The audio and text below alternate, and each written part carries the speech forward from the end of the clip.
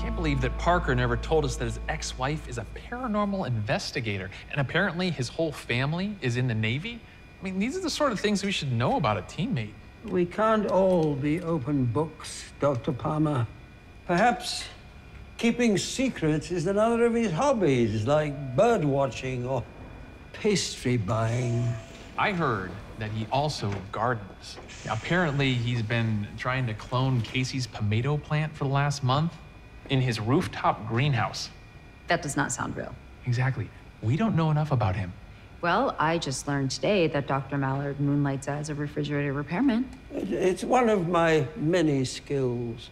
Yeah, and the compressor went out on 106. He's the only one that knows how to fix it.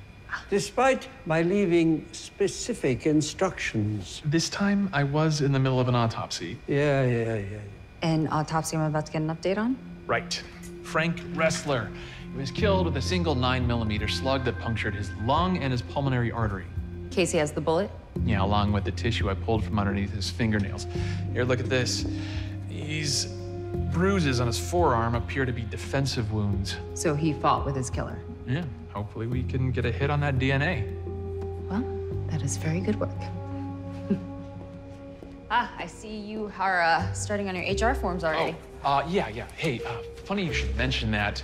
Um, Uh, why is Jessica Knight listed as a workplace relationship? I was gonna talk to you about that before I submitted those forms. When? How about now? Director Vance. Yes, yes, I heard that.